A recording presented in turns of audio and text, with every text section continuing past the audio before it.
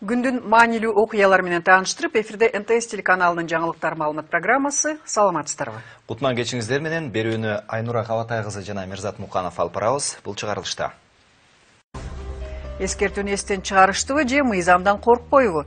Административдик ресурсту колдонуу кылмыш экени айтылса дагы, аймактарда мамлекеттик кызматкерлердин бир талапкерге үгүттөгөнү тыйылбай жатат. Боршайкомдо жаңжал борбордук шайлоо комиссиясынын төрт мүчөсү укуктары тебеленип жатканын айтып парламентке кайрылуу жасашты. Жеңилген күрөшкө той бойт болуп жатабы же бет тырмоочулукпу? Чехиялык лиглас компаниясы өкмөт менен соттошууга камынууда медициналык тез жардам кызматынын унаасы аварияга кабылды. Бир айлык наристени ооруканага жеткирүүгө шашып бараткан машина арыкка кирип кетип беш киши жабыркады. Экөөнүн абалы оор.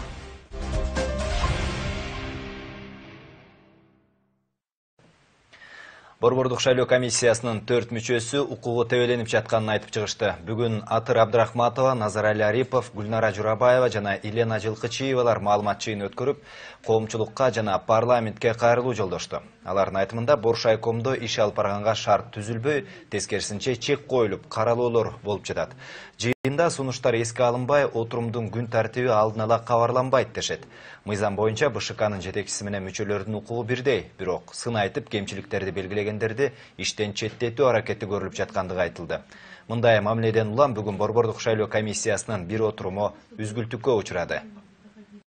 Мы должны, э, даже принцип формирования наш, нашего органа, он такой, что э, у нас не может быть, что прям сто процентов всегда мы согласны друг с другом. Это нормальный процесс. Но э, означает, что у нас у всех должны быть равные возможности обращения к различного рода субъектам. Вот я могу сказать про себя.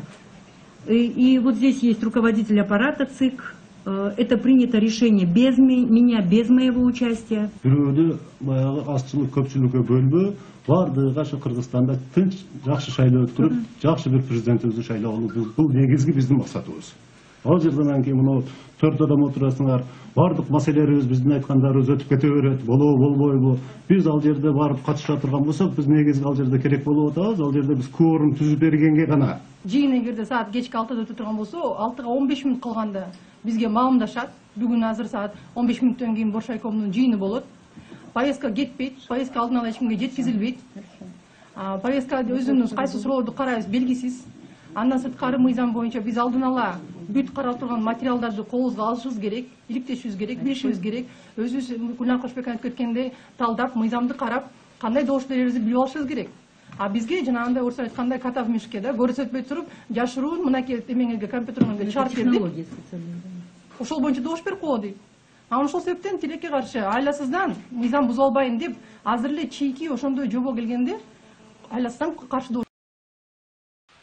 ош областынын кара суу районунда үгүт иштеринин жүрүшүндө административдик ресурстун колдонулуп жаткандыгы тууралуу бир нече фактылар катталды. Алса кечээ кечинде бир мектепте директору ата энелерди чогултуп алып ксдпнын талапкерине добуш берүүгө үндөп жаткандыгы тартылган видео тасма бар. Талкуу жараткан дагы бир факт кызыл кыштакта муниципалдык имаратта ошол эле кандидаттын штабы ачылганы. Бул одоно мыйзам бузуу болуп эсептелет. Ал эми дагы бир кыштакта айыл башчынын үйү шайлоо участкасына айланган.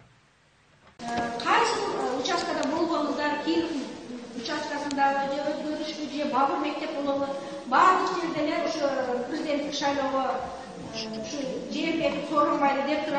ата энелер чогулушунда ксдпнын талапкерине ачык эле үгүттөп жаткан адам кара суу районуна караштуу сарай айыл өкмөтүндөгү айдар рахманалиев атындагы номер жетимиш биринчи мектептин директору малике рахманалиева. Бул жыйналышка үч жүздөй ата эне катышкан. Анын сүйлөгөн сөзүн биздин чыгармачыл топ телефонго тартып алууга үлгүрдүк директордун кызматын пайдаланып иш учурунда үгүт жүргүзгөнү административдик ресурсту колдонуу экени эскертилгенде жетекчи айым мыйзамдарды жакшы билбестигин айтып актанды.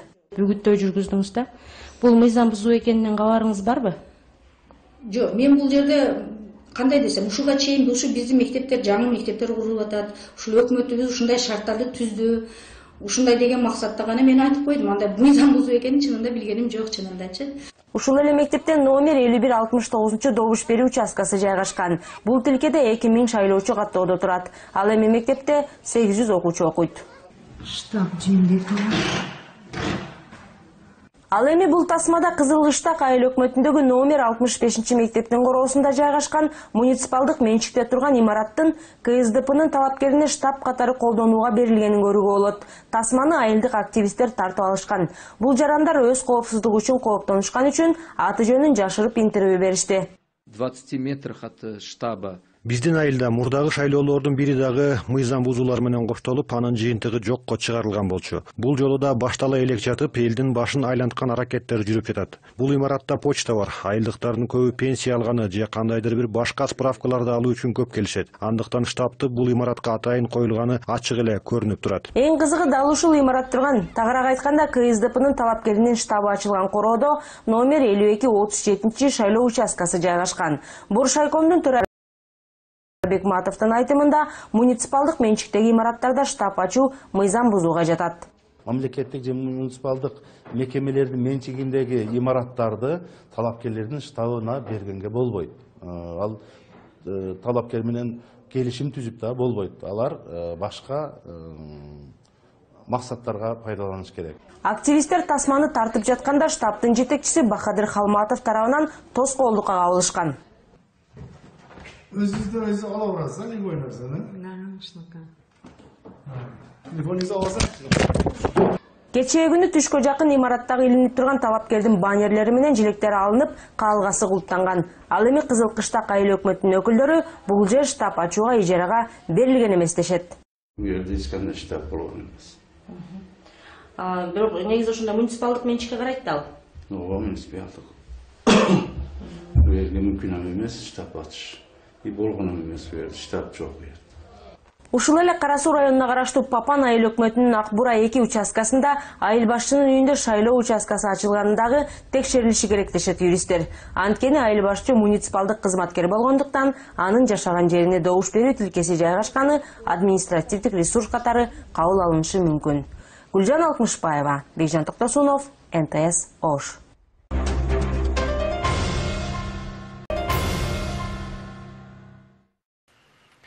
Чехиялык Лиглас компаниясы кыргыз өкмөтүн сотко берүүгө белсенүүдө. Инвесторлар кепилдик төлөм катары которулган 1 миллион 147 миң долларды кайтарып алууну көздөп жатат. Ишкерлердин түшүндүрмөсүндө Кыргызстан бул каражатты 11 августка чейин артка бериши керек болчу деп айтылат. Ошондой эле Лиглас компаниясынын ээси долбоорду ишке ашырууда өкмөт Русгидронун сотко бере турганын эскерткен эмес деп билдирүүдө. Инвесторлар Кыргызстан тарап келишимде көрсөтүлгөн негизде иш алып барбай, тышкы таасирлердин зыянын чектөөгө эч кандай аракет көргөн жок. Абалдан чыгуу үчүн сүйлөшүүлөргө катышкан жок деп күнөөлөгөнгө түштү. Ушул себептерден улам Лиглас 37 миллион долларды төлөбөй коюптур. Эми өкмөт келишимден бир тараптуу чыкса, чехиялык ишкерлер эл аралык арбитражга кайрылышат экен. Ал эми Кыргызстандын аткаруу бийлиги Лиглас менен келишим түзүүдө өлкө эч кандай зыян тарткан жок. Тескерисинче 1 миллион доллар кепилдик акчасы калат деп айтып келген эле. Айтып атат биз соттошобуз биз деген өзүбүздүн аткарганбыз аткарганбыз депчи бирок соттошсо соттошсун.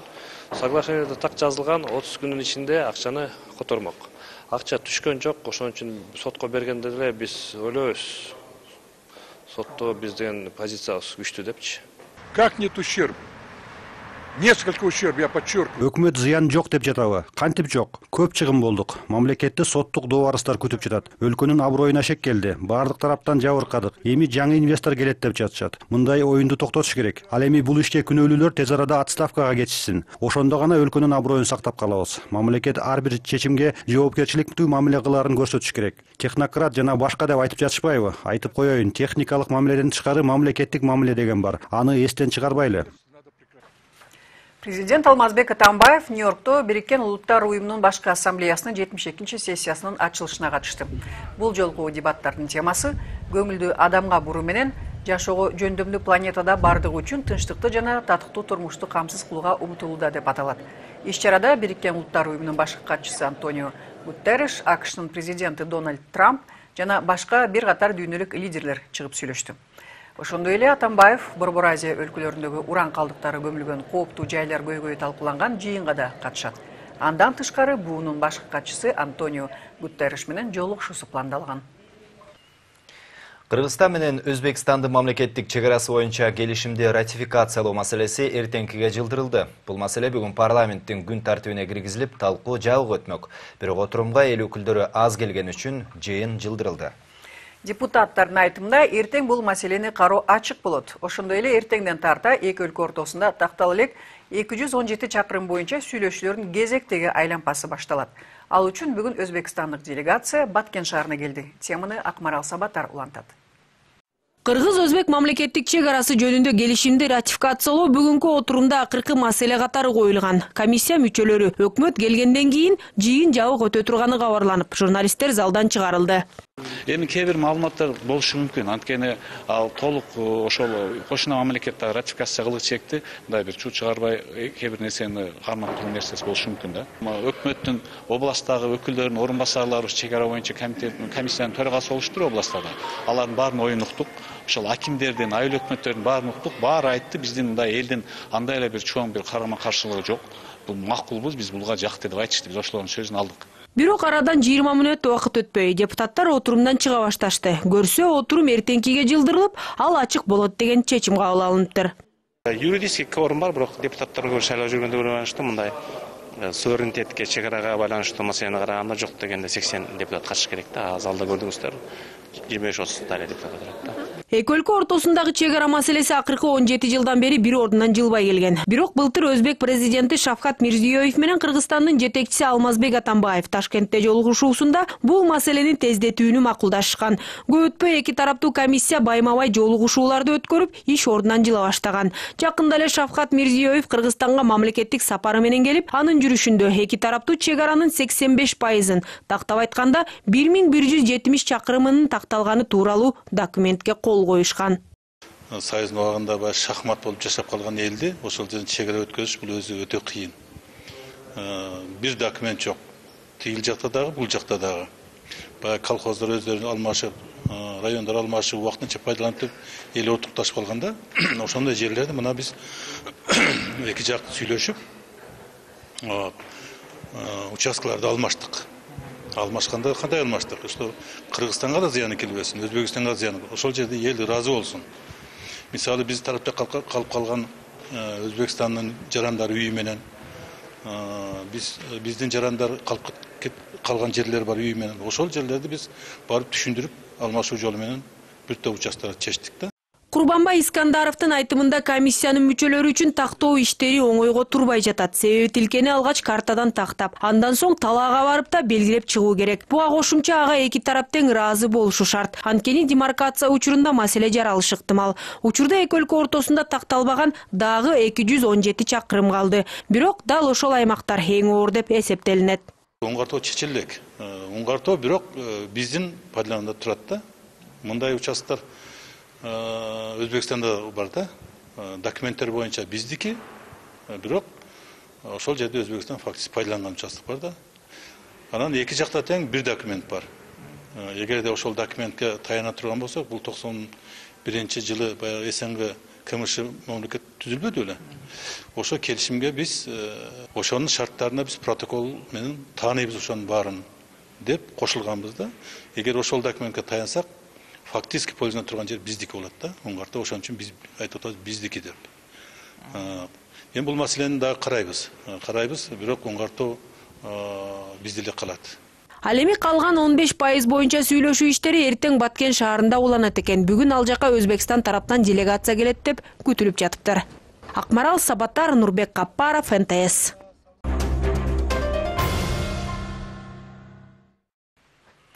Бишкекте бүгүн таңгамал тез жардам кызматынын автоунаасы аварияга кабылды. Жол кырсыгынан 5 адам жабыркады. Патрулдук милициядан кабарлашкандай, эртең менен саат 5терде Арча Бешик жан конушунан чакыруу түшкөн. Тез жардам кызматы келип, бир айлык нарсени ооруканага алып баратканда алдан ит чыга калган. Айдоочу буйта өтөм деп жолдон чыгып, арыкка түшүп кеткен. Автоунаанын ичинде врач, бейтап, айдоочу, медайым жана тажрыйба алып жүргөн адам болгон. Алардын баары ооруканага жеткирилген. Учурда экөө оор абалда реанимацияда. Окуянын чоо жайы Кайыр Жайлообекованын материалында. Тез жардам унаасынын катышуусундагы жол кырсыгы бүгүн таңгамал саат бештер чамасында бишкектин түштүк бөлүгүндө катталган. Окуя түштүк магистраль жана репин көчөлөрүнүн кесилишинде болгон. Эртең менен тез жардам станциясына арча бешик жаңы конушунун тургундары кайрылышып бир айлык ымыркайдын ооруп жаткандыгы тууралуу кабарлашат. Дарыгерлер чакыруу түшкөн дарек боюнча келип бейтапты ооруканага алып кетип бара жатканда жолдун афтабына ала салып кеткен ичинде айдоочудан тышкары эки медайым тажрыйба алып жүргөн адам жана бейтап ымыркай бар болчу. Авариядан баары ар түрдүү мүнөздөгү жаракаттарды алып бишкек шаардык травматология жана ортопедия илимий изилдөө борборуна жеткирилген. Жабыркагандардын арасында отуз жети жаштагы медайым оор абалда жандандыруу бөлүмүнө жаткырылган. Эртең мененки саат алтыда бүгүн бизге беш кишини алып келди. Анын ичинен бирөө оор абалда мээси катуу чайкалып калган жамбаш сөөктөрү сынган. Ал ушул диагноз менен реанимация бөлүмүнө жаткырылды. Калган төртөөнүн бирөөнүн жанагындай мээси чайкалган үчөөнүкү мындай жеңил жаракаттар ар кандай жанагындай жаракаттары бар эттери жанчылып калган аны менен кошо сасык тумоолоп тез жардам унаасы алып келе жаткан бала дагы оор акыбалда бишкек шаардык номер үчүнчү балдар ооруканасынын алгач травматология бөлүмүнө жаткырылып андан соң реанимацияга которулган. Кырсыкка кабылган бир айлык бөбөктүн баш мээси чайкалып сөөктөрү сынып кеткен. Учурда ымыркайга тийиштүү медициналык жардамдар көрсөтүлүп жатат. Эртең мененки саат алтыда бала ошол вирусный үйүндөгүлөр кичине үйүндө эжеси ооратыптыр. Ошо бала дагы ошентип ооруп бала кыйналып атканда скорый чакырыптыр. Ошо вирусный деп орв деп келатыптыр. Жолдон ошо аварияга учураптыр.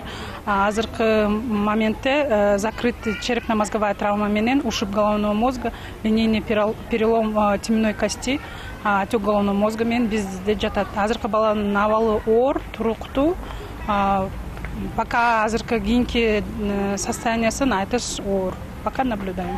Тез жардам унаасын башкарып бара жаткан айдоочунун билдиришинче бейтапты алып бара жатканда унаанын алдынан күтүүсүз жерден ит чыгып калган. Ал буйтап өтүү максатында рулду башка жака буруп жиберген. Жыйынтыгында унааны башкара албай машина жол четине чыгып бир каптал менен арыктын ичине түшүп кеткен. Водитель фельдшер и врач находятся на амбулаторном лечении. Кырсыкка кабылып амбулатордук дарыланууга жөнөтүлгөн үч кызматкерибиздин абалы учурда жакшы. Ал эми кырсык эмнеден келип чыкканын так айта албайбыз. Азыркы тапта тез жардам станциясында эмгек жана профсоюз комитетинин катышуусунда комиссия түзүлүп кызматтык териштирүүлөр жүргүзүлүп кырсыктын себептери иликтелип жатат. Окуя боюнча тийиштүү экспертизалар дайындалып материалдар патрулдук милицияга өткөрүлүп берилди. Учурда кырсыктын чоо жайы териштирүүлүүдө. Анын жыйынтыгы менен тез жардам унаасынын айдоочусуна чара көрүлүшү мүмкүн. Кайыр жайлообекова асхат ибраимов нтс Адам өмүрүн алган жол кырсыгы боюнча кылмыш иши авария болгондон кийин бир айдан соң гана ачылды. Эскерте кетсек, 30 июль күнү кесиптешибиз Айбек Айтбаев Чолпон Ата шаарында жол кырсыгына кабылып каза болгон. Журналисттин атасынын айтымында жергиликтүү тартип сакчылары ишти материалдар менен тааныштырууга бербей жатат. Муну менен тергөөчүлөр мыйзамды бузуп жатат дешет юристтер. Бул ишти тергеген адис белгисиз себептер менен ички иштер кызматынан кеткен. Эң кызыгы эки айдан бери жол кырсыгы боюнча адистердин эксперттик корутундусу чыкпаганында. Кененирээк кийинки сюжетте. Жол кырсыгы катталгандан бери эки машина тең чолпон атадагы айып салынган унаа токтотуучу жайда айдоочу отурган жакка болгон мындай каттуу соккудан кийин кишинин өмүрүн сактап калуу мүмкүн эмес экени көрүнүп эле турат. Экинчи унаанын айдоочусу канчалык катуу ылдамдыкта келе жаткан жана адам өмүрүн алган жол кырсыгын болтурбай коюуга мүмкүн беле деген суроого тергөө азыркыга чейин жооп таба элек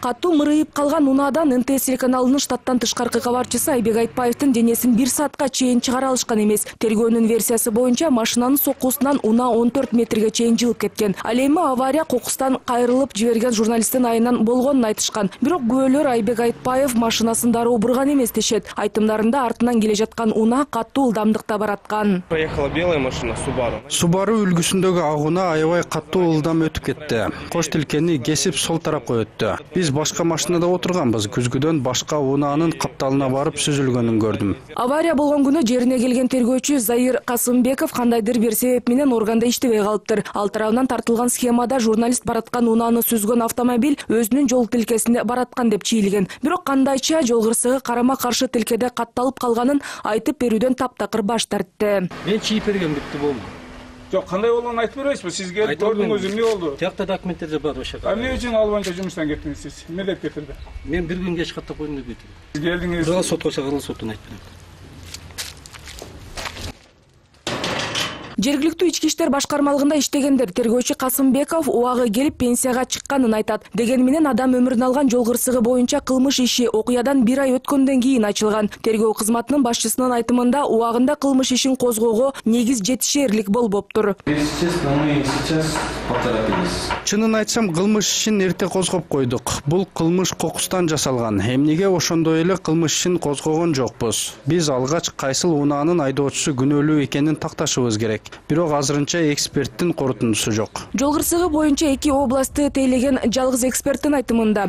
Экспертиза өткөрүү үчүн токтомду алганы менен окуяга баа берүүгө тергөөчүлөр жетишээрлик маалыматтарды берген эмес. Ал тургай суроосуна жооп да ала албаганын айтат. Экспертиза иштерин жүргүзүү үчүн менде толук кандуу маалымат жок болчу. Унаа кандай кайсыл тараптан кайрылганы бул канча убакытты алганы ким кандай ылдамдыкта келе жатканы тууралуу маалымат берилген эмес. Мунун баарын эсептеп керек. Жол кырсыгын болтурбай кое алат беле же жокпу. Анын баарын кайра реконструкция кылуу керек болчу. Бирок мен маалымат алуу үчүн отуз күн күттүм. Андан соң гана эксперттик баа берүүгө мүмкүн эмес деген корутунду чыгарып бердим. Өз кезегинде жергиликтүү ички иштер башкармалыгы адистердин корутундусун күтпөстөн материалдарды борбор калаанын эксперттерине жөнөтүшкөн ишти андан ары иликтөө үчүн корутунду ушул айдын соңунда келиши керек. Рахат жаныбекова болот исаев владимир кулбалдиев нтс ысык көл областы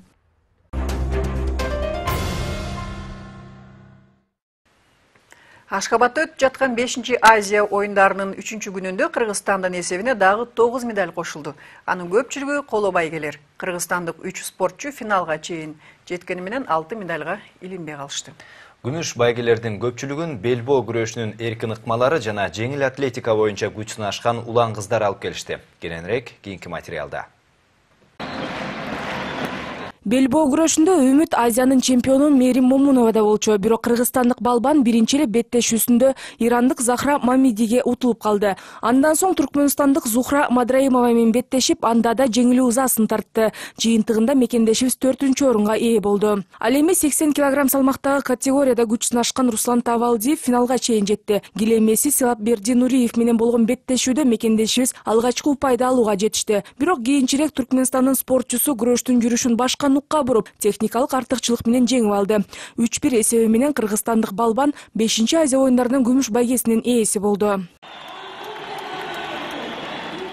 белбоо күрөшү боюнча экинчи финалист алтынай мамарасул кызы жакшы оюн көрсөттү турнирдин алкагында монгол спортчусу нямтуа нямху жана ирандык саида рахими менен беттешти финалда мунксетсек отгон менен күч сынашты. Дүйнөлүк универсиаданын байге ээси болгон монголиянын өкүлү кыргызстандык атаандашына мүмкүнчүлүк берген жок алтын өл эсебинде таза жеңиш менен биринчиликти алып мекендешибиз күмүш медалга татыды.